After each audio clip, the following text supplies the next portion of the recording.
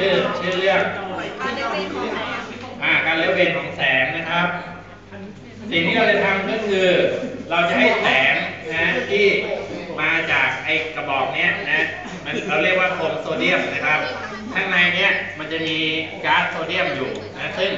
แล้วมันจะถูกกระตุ้นนะครับด้วยโดยใช้ไอ้ไฟฟ้าเนี่ยนะครับทำให้เกิดการเปล่งแสงออกมา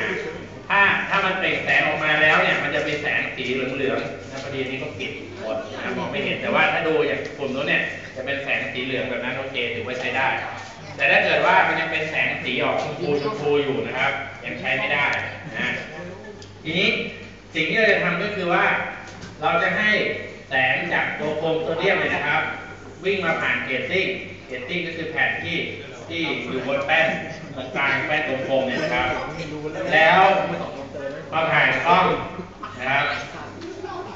แสงที่ผ่าน grating นะอ้าวอ้าวอ้าวเฮ้ยฟังฟังแสงที่ผ่าน grating เนี่ยนะครับ พวกเราเรียนเรียนถึงบทอะไรแล้วเลคเชอร์ตอนนี้ ไม่ได้เข้าครับ อะไรนะ ไม่ได้เข้ามาหลายอาทิตย์เลย เรียนถึงบทอะไรแล้ว ถึงเรื่องไอ้แสงกายภาพยัง ไม่ได้เข้าจริงจังครับอาจารย์ถึงแล้วครับ ถึงแล้ว ถึงแล้วฮะอ่าถึงแล้ว แล้วอันนั้นจะต้องรู้แล้วว่า grating มันคืออะไรอืมยังไม่รู้ คืออะไรอาจารย์อธิบาย เลย grating ก็คือมันจะเป็นคล้ายๆเป็นตะแกรงนะครับ เป็นซี่ซี่ซี่ให้ช่องให้แสงวิ่งผ่านช่องเปิดเล็ก ๆจำนวนเยอะๆแต่แล้วพอแสงวิ่งผ่านมาปุ๊บเนี่ยมันจะเกิดการแทรกสอดใช่ไหมซึ่งไอแสงที่ต้องแทรกสอดแบบเสริมกันเนี่ยมันจะเกิดขึ้นที่มุมเฉพาะบางมุมเท่านั้นนะ grating เนี่ยเราใช้ทำอย่างเช่นที่ก็เขียนไว้ที่ตัว เครื่องเนี่ยนะครับว่า grating spectrometer ก็คือมันจะทำหน้าที่ในการแยกสเปกตรัมของแสงที่มาจากโคมโซเดียม คล้ายๆกับ เวลาเรามองแสงออมองรุ้งกินน้ำเนี่ยที่เรามองเห็นเป็นสีขาวสมมติแสงแดดเป็นสีขาวนะครับ แต่พอเราเรามองผ่านไอการหักเหของของหยดน้ำเนี่ยเราเห็นเป็นสีเจ็ดสีเนี่ยนั่นก็คือสิ่งที่เราเรียกว่าสเปกตรัมของแสง แต่ว่าในกรณีนี้เราจะใช้ grating เป็นตัวแยกสเปกตรัม นะครับ ทีนี้เก่งเวลา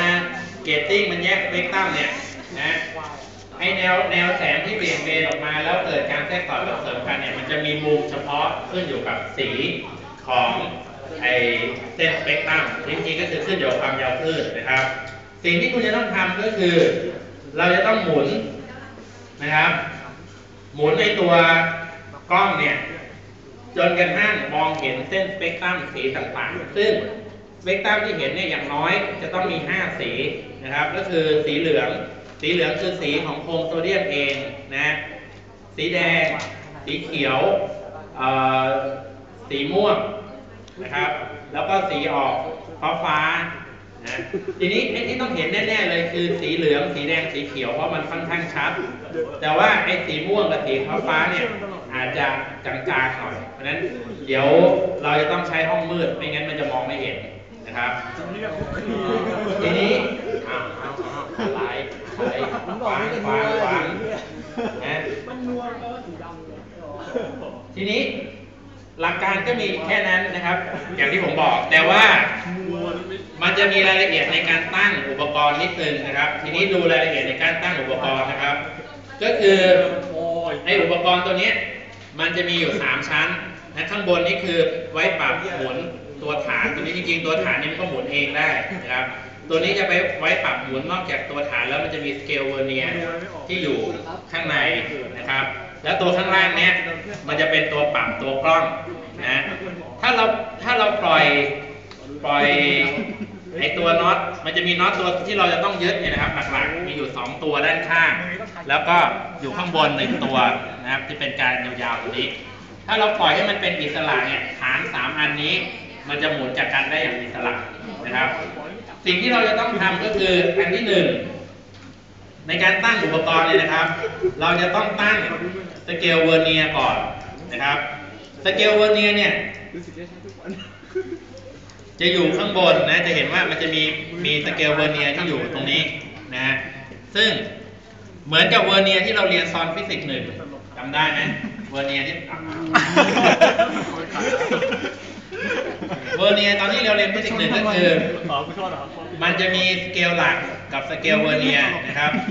สเกลสเกลหลักคือสเกลที่อยู่ด้านล่าง จะมีตัวเลขแต่ศูนย์หนึ่งสองสามไปเรื่อยๆพอหมุนไปข้างหนึ่งก็จะเป็นร้อยแปดสิบร้อยเก้าสิบส่วนสเกลเวอร์เนียคือตัวที่อยู่ด้านบนนะครับ เริ่มต้นนะคุณจะต้องหมุนให้สเกลเวอร์เนียเนี่ย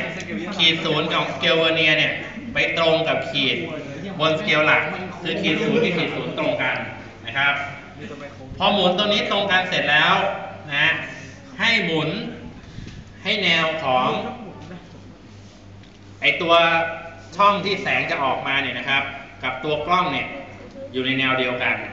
นะครับอะไรนะรู้ได้ไงว่าตรงกันมันไม่ถึงก็ต้องตรงเป๊ะหรอกแต่มีเราตาดูไหมจากเนี้ยมีดูตาให้ไหมมันอยู่ในแนวเดียวกันก็มันไม่เป๊ะไงนะครับ เสร็จแล้วหมุนไม่ไอตัวเกตติ้งเนี่ยให้ ตั้งฉากกับแนวของกล้องที่เข้ามานะครับ ตั้งฉากกับแนวกล้องที่เข้ามา แล้วเราจะต้องยึดนะครับ อะไรอะไรอีกอะอะนะก็คือเราจะต้องยึดปุ่มสองอันนี้นะครับ เพื่อที่จะให้สเกลเวอร์เนียเนี่ยมันอยู่นิ่ง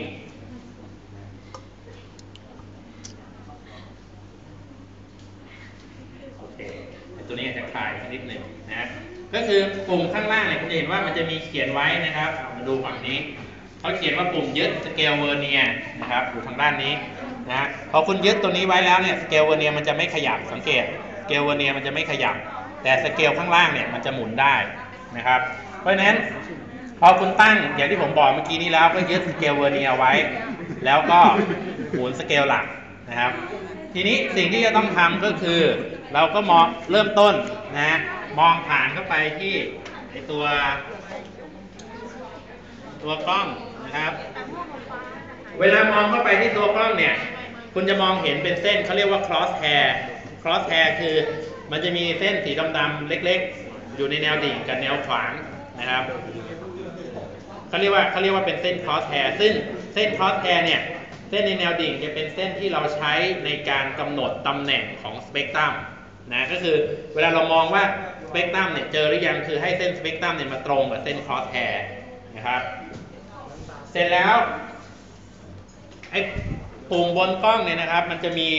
เวลาเวลาคุณปรับเส้นคอสแทนเนี่ยจะต้องปรับให้เส้นหนึ่งตั้ง เส้นหนึ่งนอน ซึ่งจะปรับจากปุ่มตรงนี้นะ ปุ่มตัวนี้หมุนได้นะครับ เพราะนั้นเราก็จะปรับคอสแทนได้ ส่วนปุ่มนี้จะใช้ในการโฟกัสมันนะจะใช้ในการโฟกัส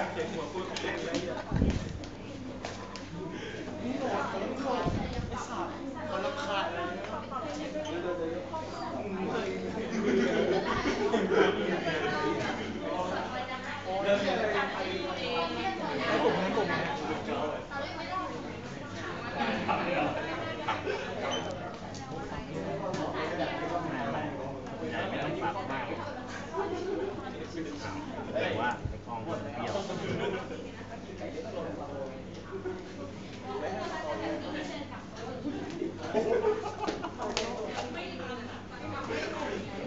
อะนะครับเพอคุณปรับตรงแล้วเนี่ยนะครับ เวลามองเข้าไปปุ๊บเนี่ยสิ่งที่คุณจะต้องมองเห็นก็คือ คุณจะเห็นเป็นเส้นสีเหลืองๆสว่างสว่างเป็นเส้นนะครับ เริ่มต้นก็คือปรับไอตัวไอครอสแ i r เนี่ยให้ตรงกับเส้นสีเหลืองนะครับ ทีนี้พอปรับตัวครอสแ i r ให้ตรงกับเส้นสีเหลืองแล้วก็มายึดปุ่มสเกลเวอร์เนียที่ผมบอกเมื่อกี้นี้ นะครับ หลังจากนั้น ให้เราหมุนกล้องไปจนกระทั่ง มองเห็นเส้นสเปกตรัมอ่าโอเคมองเห็นเส้นสเปกตรัมซึ่งเราจะเห็นเป็นเส้นสีเหลือง สีเขียว สีแดงอย่างที่ผมบอก แต่ตอนนี้อาจจะมองไม่เห็นเพราะว่าห้องมันสว่าง เดี๋ยวเราต้องปิดไฟนะครับ พอเห็นเป็นเส้นต่างๆแล้วเนี่ยเราจะวัดมุม ที่เบี่ยงเบนไป ซึ่งเราจะอ่านจากสเกลเวอร์เนียนะครับ เริ่มต้นดูที่ขีดศูนย์บนสเกลเวอร์เนียว่ามันชี้ที่ขีดอะไรบนสเกลหลัก อ่านเป็นค่ามุมเริ่มต้น หลังจากนั้นให้ดูว่าขีดอะไรบนสเกลเวอร์เนียกับสเกลหลักที่ตรงกันนะครับ เอาค่าที่ได้ไปใส่สูตรในหนังสือ มันจะมีสูตรอยู่นะที่ในหน้าอะไรเนี่ยหน้า 126 นะครับ มันจะมีสูตรที่ใช้ในการหามุมนะครับ เราก็จะกำหนดค่ามุมที่เบี่ยงเบนมาของแนวของกล้อง ซึ่งก็คือมุมที่เกิดการแทรกสอดนั่นเองนะครับ เราก็จะบันทึกค่าของมุมที่เบี่ยงเบนของเส้นสเปกตรัมเนี่ยห้าสีอย่างที่บอกทางฝั่งขวา เสร็จแล้วพอสั่งฝั่งฝั่งขวาเสร็จให้หมุนไปทางอีกด้านหนึ่งนะครับ เพื่อสังเกตเส้นสเปกตรัมทางฝั่งซ้าย มันจะมีเส้นสเปกตรัมสองชุด อยู่ทางฝั่งขวากับฝั่งซ้ายนะครับ ก็บันทึกมุมของเส้นสเปกตรัมฝั่งขวากับฝั่งซ้าย จากมุมที่ได้เนี่ยพอไปบันทึกค่า เราจะไปคำนวณค่าไซน์เซตาแล้วจะไปคำนวณค่าความยาวคลื่นนะครับ จากสูตร d ไซน์เซตาเท่ากับ n แลมดานะครับ m แลมดา m ในที่นี้คือลำดับของการเลี้ยวเบนซึ่งเป็นลำดับหนึ่งนะครับ เพราะฉะนั้น เพราะฉะนั้นลำดับที่ใช้ในการคำนวณนี้จะใช้ลำดับเท่ากับหนึ่งนะครับ n คือจำนวนเส้นของ grating จำนวนเส้นของ grating เขาจะระบุเอาไว้นะบน grating เนี่ยรู้สึกจะเท่าไหร่วะ600 เส้นต่อมิลลิเมตรนะ600 เส้นต่อมิลลิเมตร เพราะฉะนั้นคุณรู้ว่า 1มิลลิเมตรเนี่ยมี 600 เส้น 1 เส้นจะกว้างเท่าไหร่ คุณก็คำนวณไปส่วนกลับใช่ไหมครับ ก็จะเป็นระยะห่างระหว่างเส้นของเกรตติ้งก็คือค่าดีนะครับนั้นได้ค่าดีรู้ค่าไซเซต้าก็ไปคำนวณค่าแลมด้าคุณก็คำนวณมุมแลมค่าแลมด้าของของเส้นสเปกตรัมนะครับให้ครบทั้ง 5 เส้น ทีนี้ในช่องสุดท้ายเนี่ยเขาบอกให้คำนวณเส้นสเปกตรัมสีเหลืองอันดับที่ 2 อันดับที่2เนี่ยก็คือ พอคุณมองไปตอนแรกจะพอเบนไปเนี่ยจะเห็นเส้นสีเหลืองนะครับ ถ้าเบนต่อไปมันจะเห็นเห็นเส้นสีเหลืองซ้ำอีกครั้งหนึ่งแต่ถ้าไม่เห็นไม่เป็นไรไม่เห็นก็ไม่ต้องเติมนะครับเพราะเส้นสเปกตรัมเส้นที่ลำดับที่สองนี่มองค่อนข้างยาก ถ้ามองเห็นก็ดีถ้ามองไม่เห็นก็ไม่เป็นไร ถ้าไม่เห็น